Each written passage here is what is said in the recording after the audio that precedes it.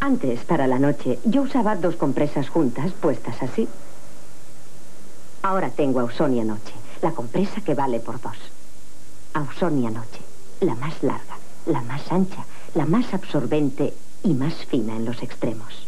Ausonia Noche, una sola compresa para toda la noche.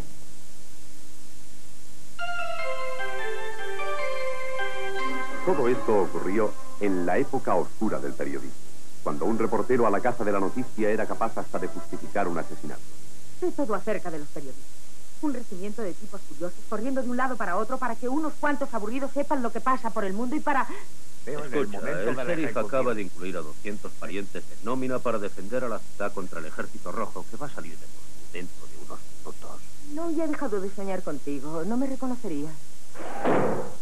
Se tiene muy poco respeto a la prensa. Estaba borracho la noche que pedí tu mano. Si tú hubieras sido un caballero lo habrías olvidado, pero no, tú no. Goya. Tú- Antes lo hacías mejor, has perdido reflejos. Diga. Yo no, fírmala. Una obra maestra de Howard Hawks.